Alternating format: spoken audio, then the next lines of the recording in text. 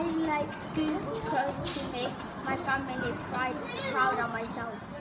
I like eating sweet because it's nice. I like school because you do AR. I want to go to school so I can be smart. I like school because you get to play with your friends. I like school because we get to do maths and lots of fun stuff. I like I like school because you need to study. I like it at. I like school because I want to learn about dragons. This year we have been learning about dragons and we learned about dragons can breathe fire. I came to school because I wanted to learn.